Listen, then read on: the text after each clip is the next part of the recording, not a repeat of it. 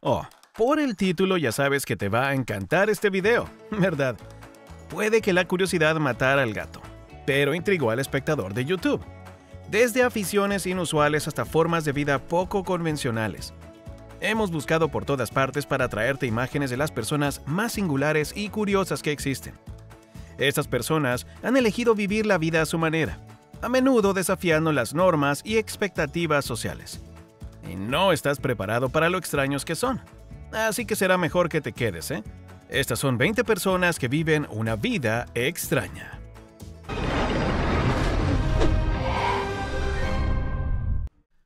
Número 20. Dan Price. Este chico vive en la pobreza extrema, pero no por la razón que piensas. Se llama Dan Price y lleva 20 años viviendo como un auténtico hobbit en su agujero subterráneo de Oregon. Se las arregla para sobrevivir con solo 5 mil dólares al año, incluidos 100 dólares para el alquiler del terreno que ocupa. Dan estaba acostumbrado a un trabajo de oficina como fotoperiodista para mantenerse a sí mismo, a su esposa y a sus dos hijos. No pensaba demasiado en su estilo de vida hasta que leyó un libro de Harlan Hubbard que describía una existencia despojada de las comodidades modernas. Tras leer el libro, Dan hizo rápidamente las maletas para instalarse en un tranquilo prado donde probó distintas opciones de alojamiento, antes de establecerse en la casa Hobbit en la que vive hoy. En el agujero de 2,5 metros en el suelo, apenas caben Dan, una estufa, sus libros, su reproductor de CD y su ropa. Todo lo que realmente necesita. Una casa hecha a mano, no prefabricada, construida con herramientas primitivas. A pesar de sus condiciones de vida un tanto duras, Dan tiene electricidad, un teléfono que le cuesta 53 dólares al mes y un MacBook para estar conectado con el mundo. Para pagar estas necesidades, vende bocetos en una revista llamada Crónicas a la Luz de la Luna por 5 dólares el número. También escribió un libro sobre la vida hobbit titulado Mi casa diminuta, publicado bajo el seudónimo de Hobo Artista. Desde que se mudó al bosque, este auténtico hobbit tiene tiempo para actividades más relajantes. Pasa los días trabajando en su revista y leyendo.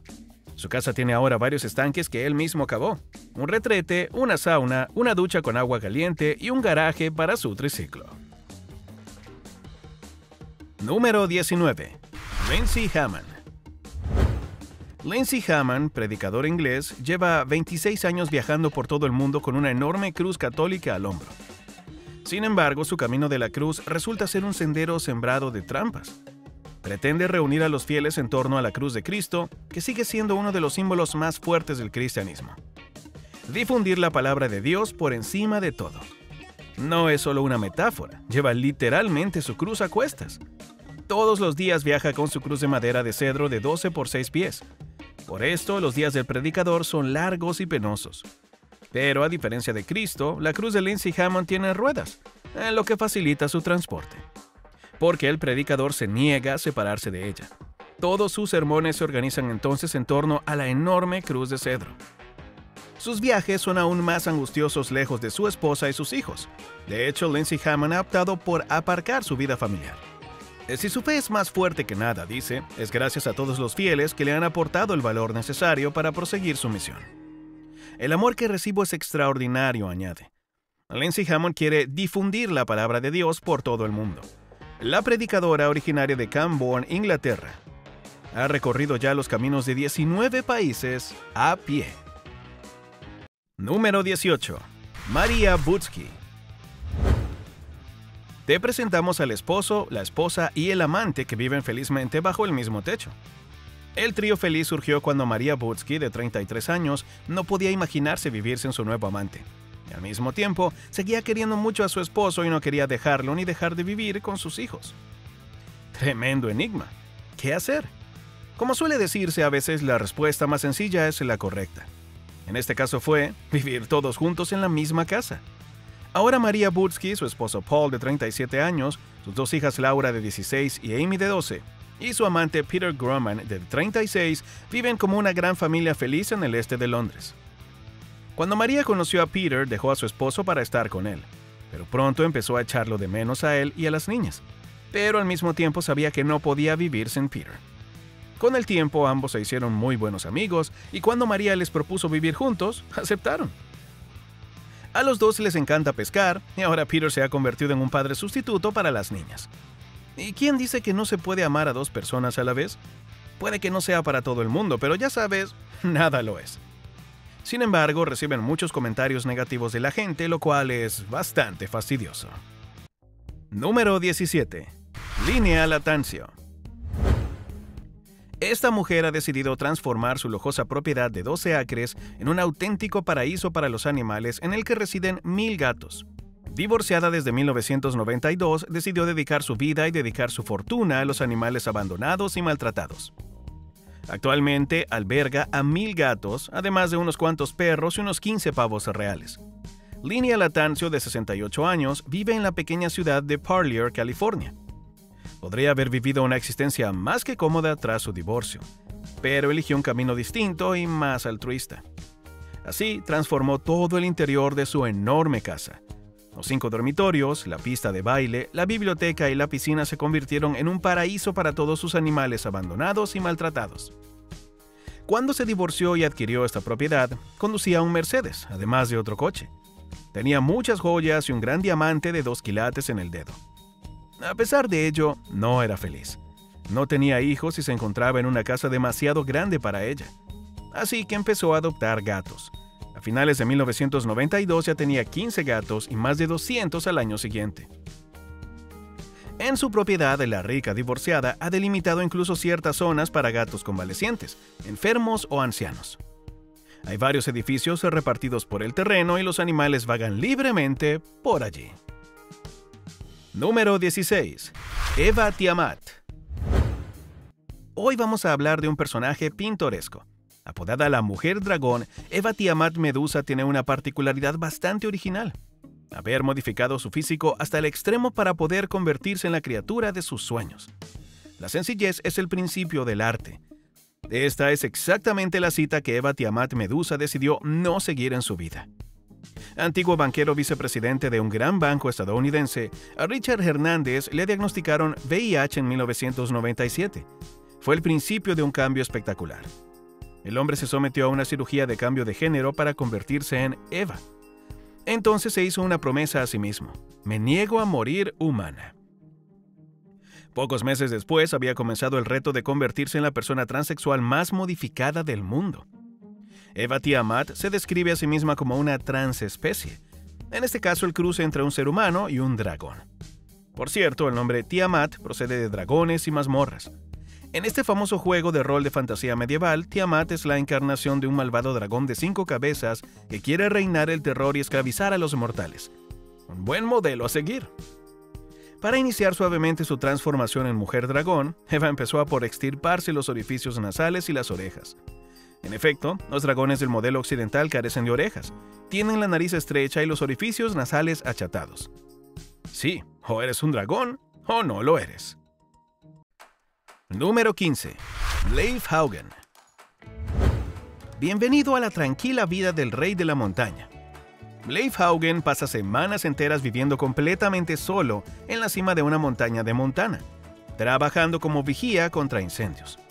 En esta diminuta casita de 14 por 15, Leif Haugen pasa los días reconectando con la naturaleza.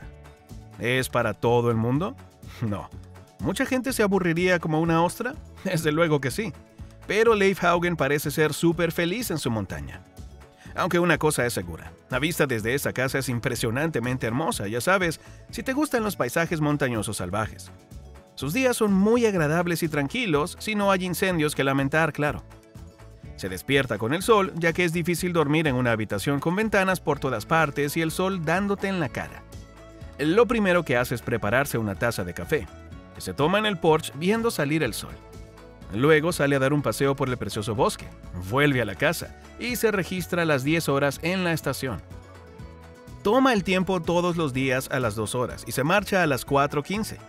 Eso es todo. Parece una forma perfecta de curarse de la vida acelerada de la gran ciudad. Número 14. Tai Ngok. ¿Qué harías si no pudieras dormir ni un minuto nunca más? La mayoría de la gente se volvería loca al cabo de unos pocos días y con el tiempo no dormir ciertamente causa la muerte. Pero Tai parece ser muy especial, incluso único. No solo simplemente no duerme, sino que no parece tener ningún efecto secundario negativo. Así que, ¿puedes adivinar cuánto tiempo lleva despierto? A ver si adivinas. 39 años. Sí, no ha podido dormir durante casi décadas, ni un minuto, ni siquiera una pequeña siesta. Hoy, Tai Ngoc tiene 70 años y lleva una vida muy sana en su pueblo natal de la provincia de Quang Nam, Vietnam. Afirma que desde que tuvo fiebre allá por 1973, no ha podido cerrar los ojos. Al principio estaba muy preocupado y probó todas las técnicas y medicamentos conocidos para dormir, pero por desgracia nada funcionó. Con el tiempo se acostumbró y la verdad es que rara vez se pone enfermo y sigue siendo muy activo y sano. Gracias a su insomnio, vigila la granja por la noche para asegurarse de que su familia está a salvo. Pero no se queda sentado ni mucho menos. Durante sus noches de insomnio ha cavado dos estanques para criar peces en solo tres meses. Dice que nunca está realmente cansado y que tiene miedo de hacerse pruebas, así que nunca sabremos cuál es su secreto. Número 13. Lori Cheek. Lori Cheek es una mujer de Nueva York que padece una fobia muy peculiar y potencialmente mortal. Odia, odia de verdad beber agua. Ahora bien, ¿Cómo puede ser peligrosa una cosa tan aparentemente graciosa? Imagínate lo que sufre tu cuerpo cuando estás deshidratado. En el caso de Lori Chick es 24/7. Su aversión a beber agua es tan profunda que más de una vez ha acabado en urgencias por deshidratación grave. Simplemente se niega a llevarse agua a la boca. Por supuesto, ella comprende perfectamente que su cuerpo necesita agua para sobrevivir, pero prefiere afrontar los riesgos antes que beberla. En su vida cotidiana confía en las pastillas de hidratación y las bebidas aromatizadas para mantenerse hidratada todo lo que puede. No tiene ningún problema en tomar bebidas alcohólicas o bebidas a base de agua, como refrescos o zumos. Lo que no tolera es el agua sola. Curiosamente, no es la única persona conocida con este problema.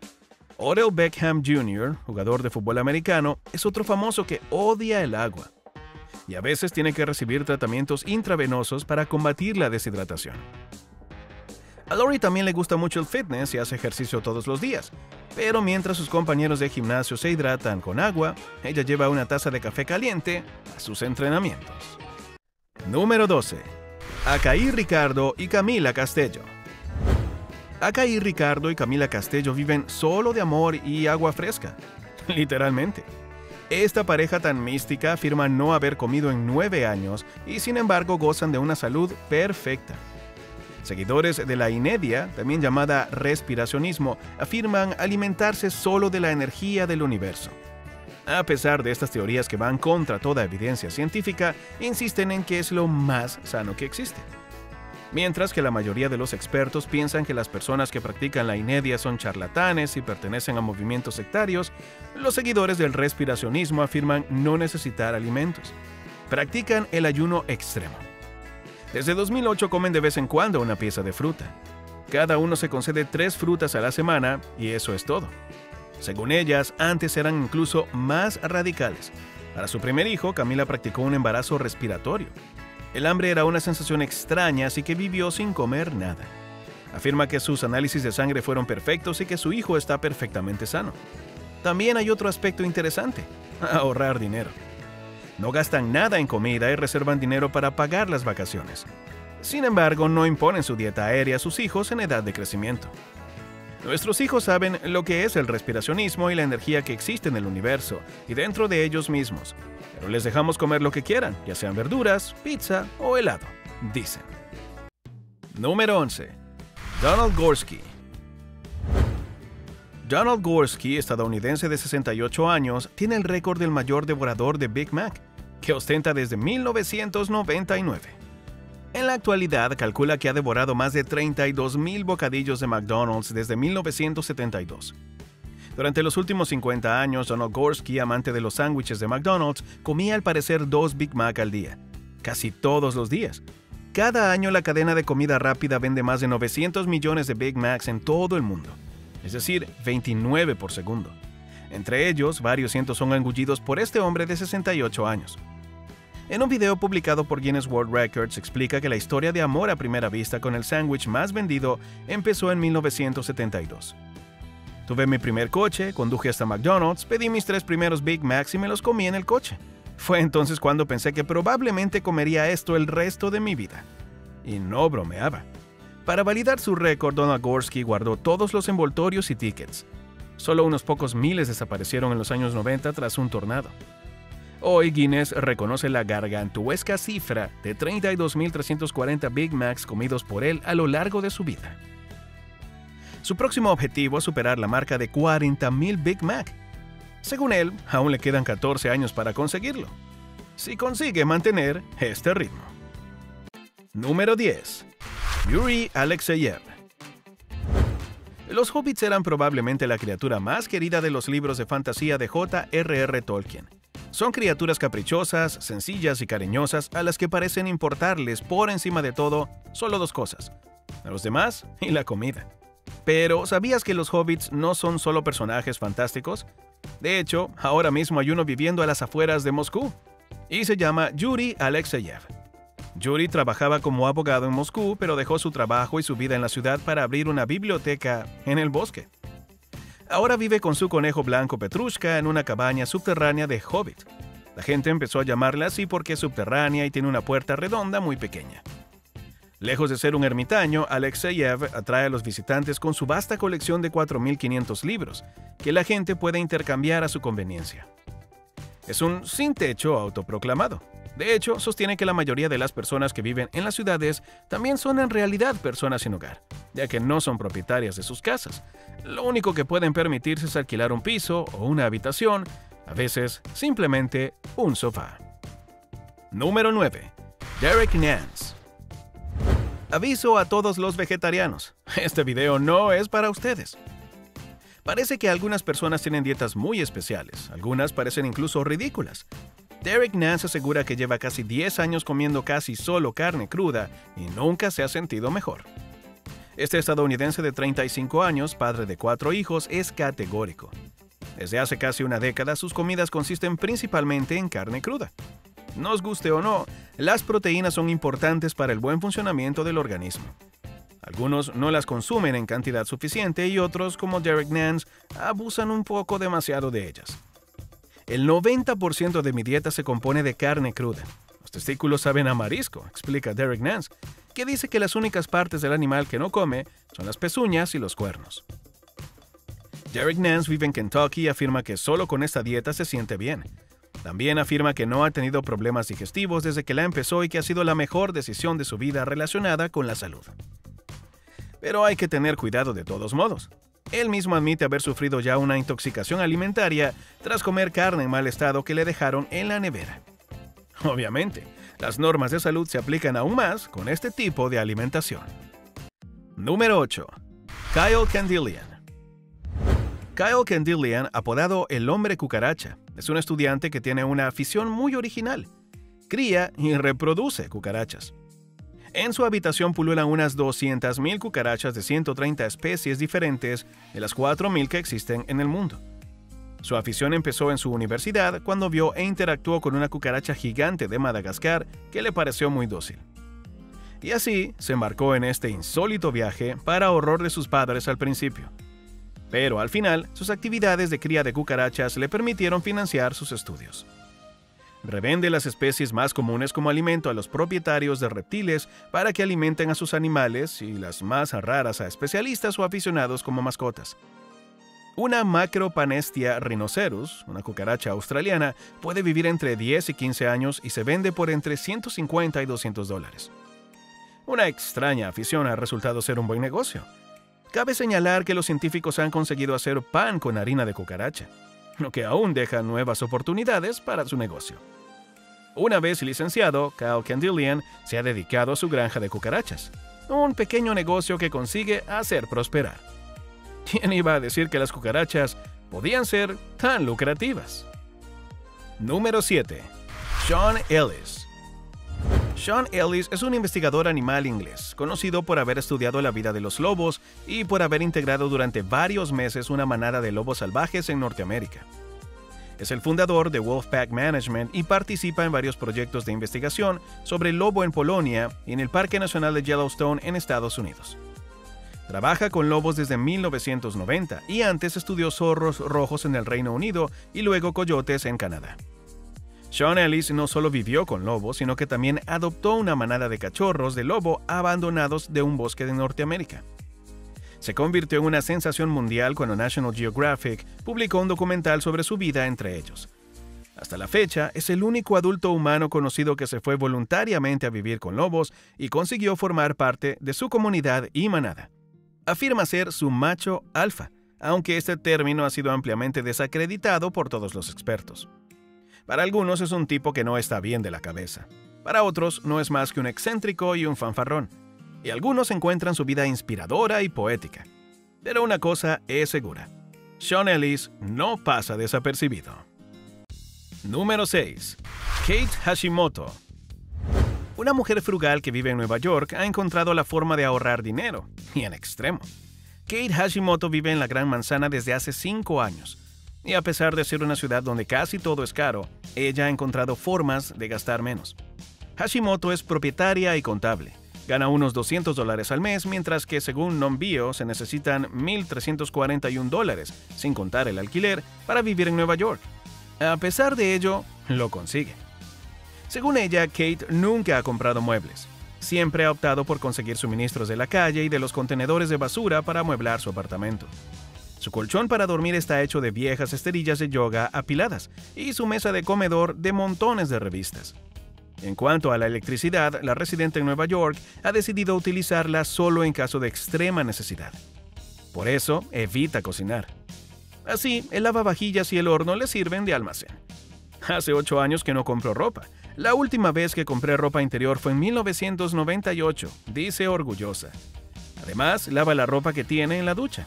También podría sorprenderte, pero la última vez que lavo ropa en la lavadora fue hace tres años.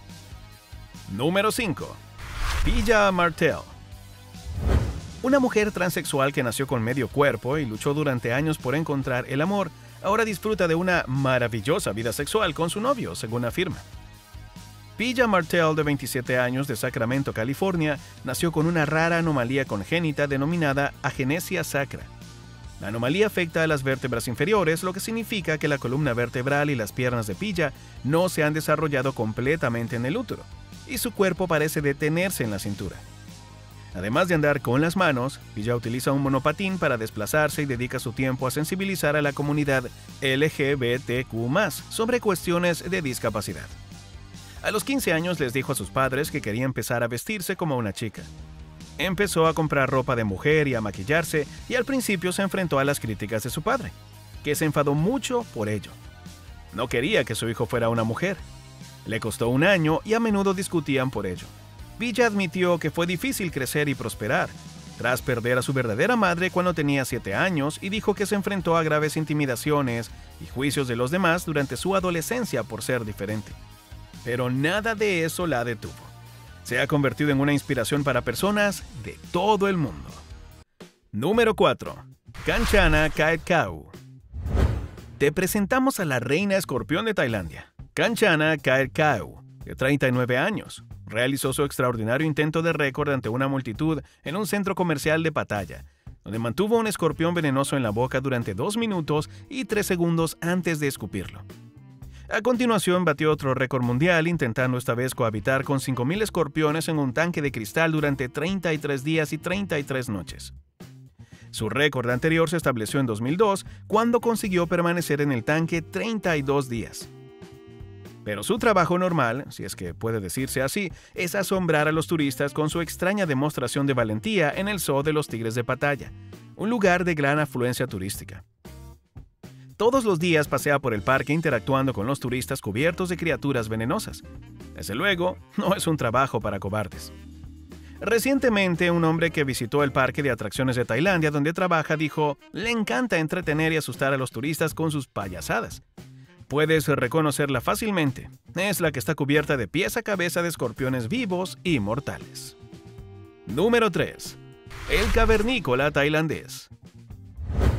Seguro que todos recuerdan al cavernícola tailandés. Se llama Shatupom Losiri y es un hombre de 47 años que lo dejó todo para vivir en una cueva, una antigua mina de estaño en una playa de Tailandia. Ahora se ha desatado una enorme polémica debido a su cuestionable comportamiento. La policía investigó la extraña choza de Chatupom City después de que presumiera de haberse acostado con docenas de mochileras extranjeras. Al parecer empezó a seducir incesantemente a atractivas veraneantes en la isla de la fiesta de luna llena de Koh Phangan. Causó revuelo al publicar una foto de una joven rusa a la que afirmaba haber alisado la lengua a la salida de una tienda de comestibles, antes de que ella se subiese nerviosa a su motocicleta y regresara a su arenosa cueva. Pero la historia no acabó ahí. Unos días después publicó una foto de otra joven occidental durmiendo desnuda en su cama después de haber pasado la noche juntos. Las payasadas del hombre de las cavernas provocaron la indignación de los lugareños, que le acusaron de falta de decencia tras aparecer docenas de imágenes más de mujeres que había llevado a su cueva. Tanto fue así que la policía tuvo que intervenir y buscó cualquier cosa sospechosa, pero no encontró nada. Admitieron que Chatupom no había infringido la ley, pero dijeron que vigilarían la situación.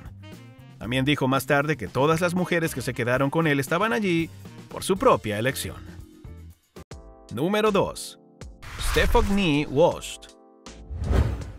Stephanie Walsh, de 52 años en la actualidad, era funcionario masculino antes de someterse a una operación de cambio de género y optar por el nombre de pila de Stephanie, quien vive en Toronto, Canadá, y descubrió su verdadera identidad tras 23 años de matrimonio el nacimiento de siete hijos y un ultimátum fijado por su esposa. Me pidió que eligiera entre dejar de ser transgénero o marchar, me dijo. Así que se marchó para vivir una nueva vida, dejando atrás su condición de esposo y padre de una familia numerosa. Pero los descubrimientos de Stephanie no iban a terminar ahí, pues este fin de semana anunció que a partir de ahora es una niña de 6 años. Tras un largo periplo salpicado por varios intentos de suicidio y dificultades para encontrar trabajo o alojamiento, encontró ahora una familia adoptiva, donde puede vivir libremente como una niña de 6 años que pasa el tiempo jugando con muñecas y coloreando. Dice que su nueva familia la acepta y la comprende completamente. También dice que quiere vivir como una niña de 6 años porque nunca pudo hacerlo cuando era más pequeña. No olvida su antigua vida, a su esposa y a sus hijos, aunque proclame alto y claro que ha terminado con la edad adulta y que quiere volver a la infancia. Por eso vive como una niña de 6 años y se comporta como la hermana pequeña de la hija biológica de 7 años de su familia adoptiva. Número 1. Charlie Gilmore. Charlie es el hijo adoptivo del legendario guitarrista de Pink Floyd David Gilmour. En 2011 causó una gran polémica cuando fue enviado a prisión durante 16 meses por columpiarse en un monumento de guerra de Londres. Ahora es un joven periodista que vive en el sur de Londres con su esposa Janina y Benesse, su cuervo mascota. Llevan una vida feliz, aunque inusual. Benesse cayó literalmente de un árbol hacia su nueva vida. Un año después, el pajarito es un miembro más de la familia. Y ha inspirado a Charlie para abrir el primer café cuervo del mundo en Londres, que anima al público a interactuar con esa especie, a menudo incomprendida. Dijo a los periodistas que Benesse no es más que un pajarito, pero que se ha adueñado de toda su vida.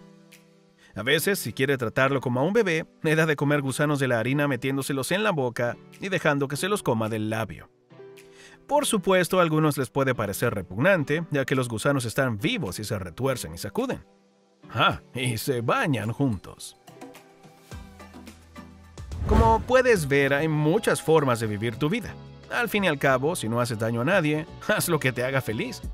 ¿Y tú, sueñas con una vida fuera de lo común? Cuéntanos en los comentarios. Además, echa un vistazo a otras cosas geniales que aparecen en pantalla ahora mismo. Hasta la próxima.